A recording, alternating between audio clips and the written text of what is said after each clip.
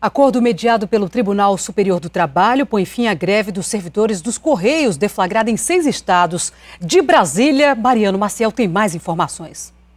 20 dos seis sindicatos da categoria participaram do acordo no Tribunal Superior do Trabalho, o que corresponde a cerca de 60% do total de trabalhadores.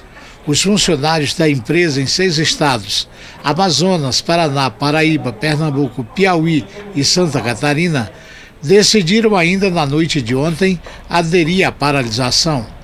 O reajuste salarial ficou em 6,5%, a ser pago em forma de gratificação, com reflexos em verbas trabalhistas como férias, 13º e FGTS.